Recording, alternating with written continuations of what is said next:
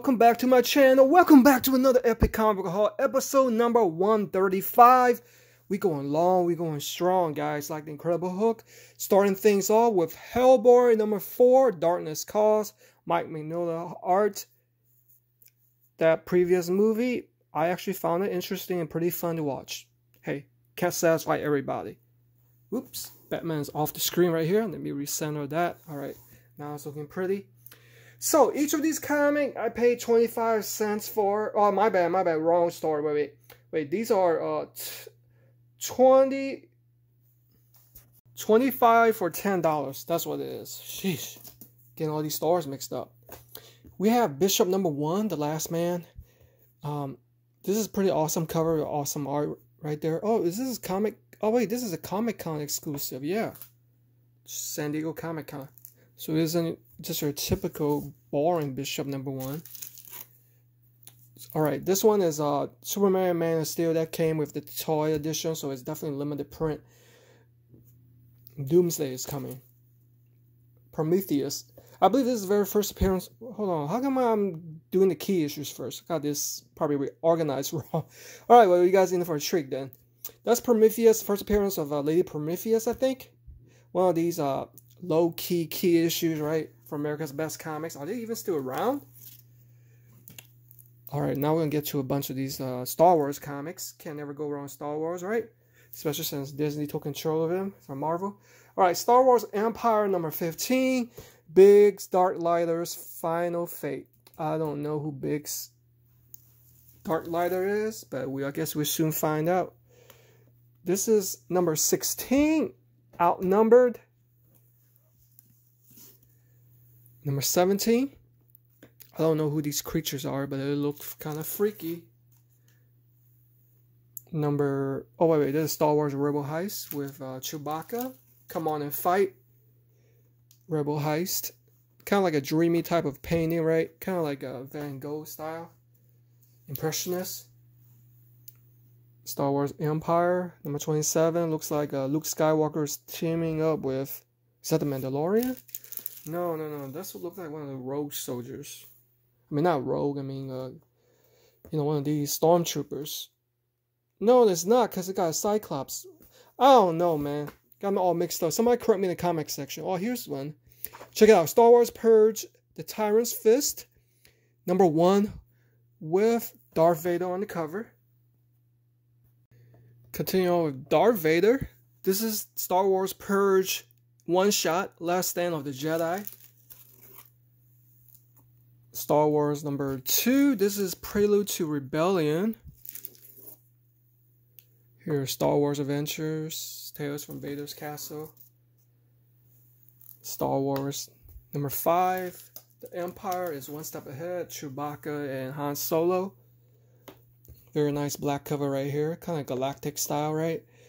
Number six, Star Wars, The Rebellion's Last Stand you have to read these in particular order, you know. Um, just Google it. I forgot what site it was, but they tell you what exactly chronological order you're supposed to um, read it. Star Wars number 15, The Princess Bride. Here is Star Wars number 1. What is this? Earn the Admiration of the Galaxy. Huh. Interesting book right there. Here's Star Wars number 14, A Shadow on the Empire. Star Wars number 13, by the way, these are mostly direct sales, so I'm definitely paying attention. So, I want to give a quick shout out to the YouTuber Kev's Collectibles. I think he's a collector stationed in New Zealand. He's been finding a lot of Star Wars key issues. Check his channel out, guys. Star Wars number 10, In Disguise and in Danger. Here's number 9, Princess Without a Planet. Number 8, taking the fight to the Empire. Here's number 7, The Empire is Watching. Star Wars Empire number 23, featuring the galaxy's second coolest smuggler. Hmm, I have no idea who's the first Bossk, enemy of the Alliance. Here's a uh, pretty number 2. Not Don't know what's going on here, but a very awesome cover. See the Darth Vader silhouette on the back. Here is number three, Never Kind of Smuggler. Han Solo being a smuggler. Here is Empire number 14, Vader Alone, Vader the Savage. Star Wars Rebellion number 2, Brainwashed by the Empire to Kill. Again, direct sales. Star Wars Crimson Empire 2, Council of Blood. Um, with Jabba the Hutt in the back. Bounty Hunters, Scoundrel's Wages. So, you know, back in the uh, 90s, Dark Horse printed out a lot of these stories. So they're definitely capitalizing on that. So many stories to choose from. Looks like this one again. I think I got doubles of that. Star Wars Empire number 26, young um, Luke Skywalker, Jedi pilot target. Star Wars Empire number 22, looks like a Chewbacca Han Solo is fighting the Blob. We got, oh, whoa, whoa, whenever we see Boba Fett, that's definitely a must have, right? Boba Fett, need we say more? Is it Boba Fett or Boba Fett? Ghost Ship. I'm gonna definitely be back and boarding that right away. Star Wars Empire number 30, Rebel vs. Rebel. And Star Wars Empire number 31, Darth Vader, Imperial Diplomat. Alright, I'm gonna speed things up a little bit. We got number 25. I'm sure you guys can read the title. Agent of the Empire. Heart targets. Whoa, another Boba Fett, right? Getting knocked out by somebody. Interesting covers. I love it. By the way, the mix com the color combo of Boba Fett really stands out. It's kind of like a, you know, an aged metallic to go with the green. Star Wars number 16, Friendly Fire. Watch your step, Luke Skywalker. Ooh, awesome art, by the way. Very nice painting. Rebels vs. Galactic Empire. Leia's Decision. The Empire has a target light on Leia. This one's very thick. Star Wars Episode 2 Attack of the Clones. It looks like this is uh newsstand. Check it out. Doesn't say direct edition. Wow. And but see, here's a direct sales when you compare the two. So this is a perfect example of newsstand versus direct sales. Okay, it looks like they put the uh, comics code right here. This one looks like doesn't even have it, which is weird. I thought the the rule is to always show on the cover. Oh well, somebody correct me if I'm wrong. Star Wars um number six, Mara Jade. Here's one. Oh, what is this? Star Wars Rebellion number one. Lieutenant Janek Sunber, agent of Darth Vader. Looks like he's really buffed up. Somebody's been working out. Star Wars number four, very nice cover right here. I like that combination of color white with the oh, yellow really stands out. Rebel Heist. General Grievous. Wow. It's a Clone Wars. These I heard these Clone Wars are hot. So this one's definitely must have. Star Wars Empire number 9, Mutiny on the Rand, Ecliptic. Star Wars Dark Empire 2. You know, at first when I went to this comic book store, I wasn't expecting to get so many. I was just looking for key issues. But when I saw this whole stack of Star Wars, I was like, all right, go ahead and give me a small box. You know, I'll, I'll just go ahead and buy it. Star Wars Dark Empire 2. And I think that's store charges for a small box $60 as many as you can fill. Dark Empire number two, number six, Star Wars X-Wing Rogue Squadron, The Phantom Affair, and Star Wars Empire number 18, To the Last Man. I'm gonna speed things up because I don't want this video to be too long. So a couple more Star Wars Empires right there, very beautiful. Of course, you guys wondering if I'm gonna read it. Of course, I'm gonna read it. I'm reading in order though. It might not be in story order, but it's gonna be chronological order on the title. Dark Empire 2, that's the first one. Another Boba Fett. Man, I love these Boba Fett. I wouldn't see Mandalorian though. That's uh, Empire 13. Oh, I guess we're done with uh, that. So Superman Action Comics number 689. Actually, you know, you guys know why I decided to grab both of these? Because this features the first uh, black costume of Superman after his death. So supposedly, you know, in the upcoming Zack Snyder remix of the uh, Justice League movie. That's what we will see. Trending up for sure. Web of Spider-Man number one. First time seeing that. This must be what volume three now. Main Spider-Man. Can never go wrong. Main Spider-Man 609. All right. 614. 615 is Sandman. Spider-Man um, number one with a kind of like a red foil cover going on. Miles Morales in Civil War 2, Part 2, Spider-Man number 8. Here's a Spider-Man with Black Cat. It's Miles Morales though. And here is Miss Marvel with Miles Morales. And there he is, contemplating about his life. Some more Miles Morales comics. Here's a special uh, die cut gatefold cover of the 90s. Number 57 with art by John Romita Jr. Really stands out. I could tell right off the bat because he likes drawing a lot of uh, wrinkles and lines, wavy lines. Main Spider-Man 616, whole bunch of Sandman fighting. That's number um, 619. Blood every, everywhere. 621, Mr. Negative with Black Cat. Ooh, fancy cover, yin yang. 624 with the Vulture. Never liked the Vulture. 626. Don't know what's going on. Here is a Spider Phoenix. First appearance, perhaps? Here is uh, 627. Juggernaut. Yes. Love the Juggernaut. Main Spider-Man. What's that? 37? Is that another volume? Alright. Never liked that cover. Never liked this cover either. Six five sixty two screws, clones, all that good stuff. First appearance of forgot her name. Screwball. One is hard to remember.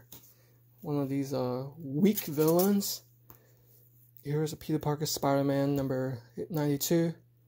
Identity Crisis. Here's one I like. The cover, kind of like tearing out the page with uh, is that Stilt Man? You guys see how much I love Amazing Spider-Man. Awesome art, by the way. I want to say, is it Pacheco? Not sure. Bachalo. I get them mixed up. Yeah, Bachalo. See that unique style? It's kind of like angular, a lot of detail. I don't know how to explain it, but it's definitely distinctive. Bachalo has that distinctive style going on. That's what you need if you're a comic book artist. Stand out. 556. Once a Goblin. Ooh, I love that cover. Here's a number 24.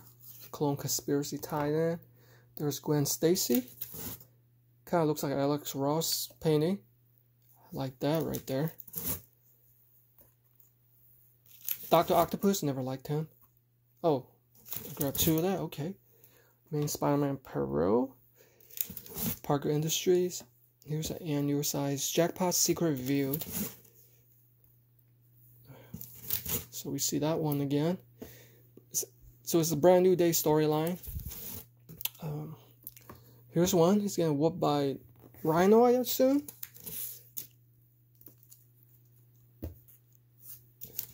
And Spider-Man dishing out the pain on that one.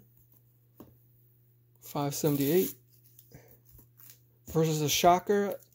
I heard uh, Jamie Foxx is going to play Shocker in upcoming Spider-Man movie. I'm not sure if I want to see the Shocker because he's one of the weaker villains, you know. And that movie never did that well. 581, Harry Osborn in the grave, fighting Molten Man. Main Spider-Man number 16 Here's number 18. So this is the um, second volume. I think they try to rename number it. This was like during the 9-11 time frame. Here is one that's I've never seen before. Defender comic book legal defense fund. Defender with Garth Ennis, you know, with his uh, Preacher comic. So this one is definitely limited print. Here's another limited print one. Injustice 2 uh, with WB Games.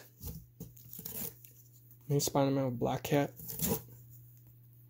Here. 585. Character assassination storyline. Okay, continuing on. Return of the Spots. That is the laziest cover I've ever seen.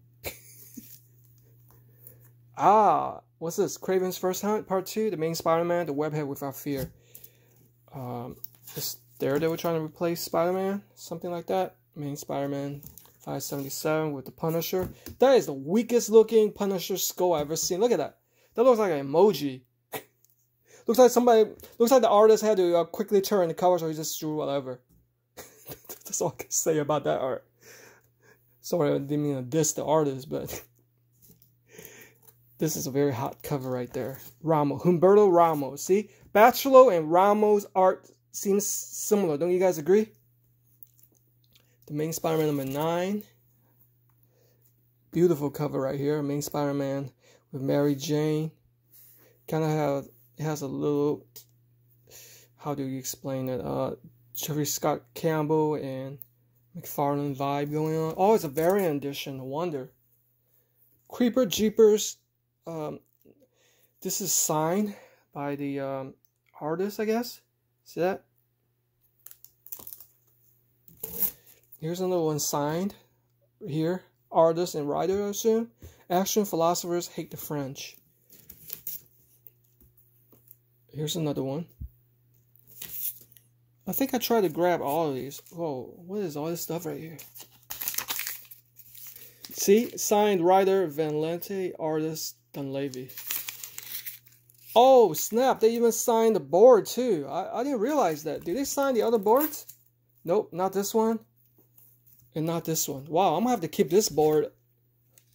Because that's a unique art right there. That itself is highly collectible, right? Wow.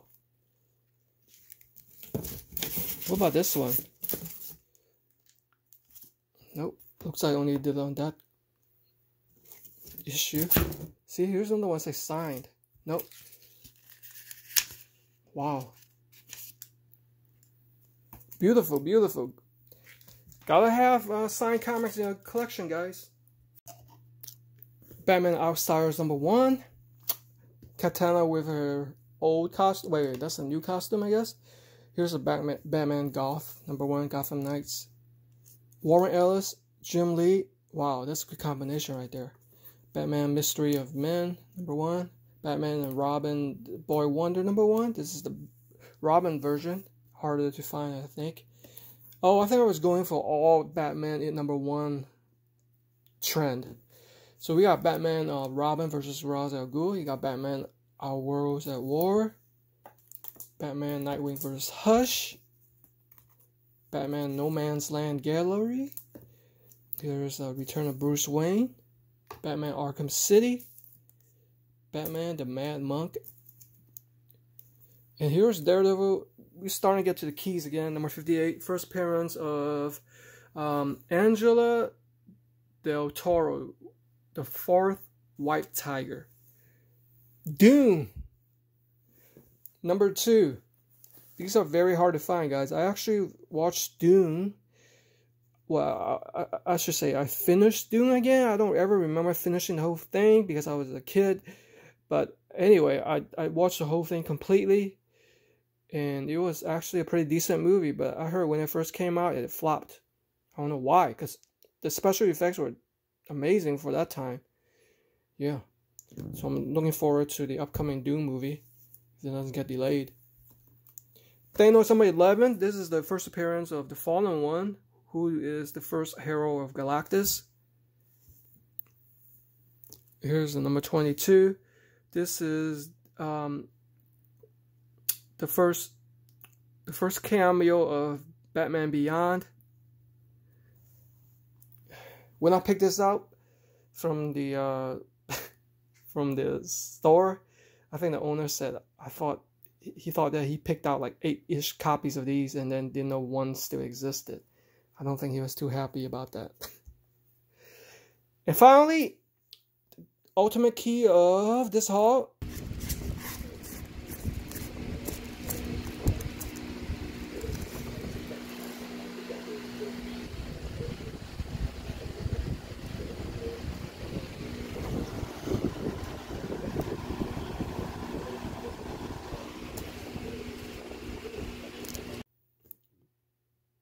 The Ultimates number two, featuring the very first appearance of Galactus Lifebringer, who is the opposite of Galactus, who devours worlds. He puts life into the world with a totally different gold armor, I believe. I have yet to read it, but not just because of that key issue element of the first appearance, it's also the highest sought after and hard to find second printing, baby. So this is another epic comic book haul. Hope you guys enjoyed the video. Stay tuned. I have one more coming up, and um, it's going to be real hot, guys. Make sure you click on the subscribe button. Happy hunting.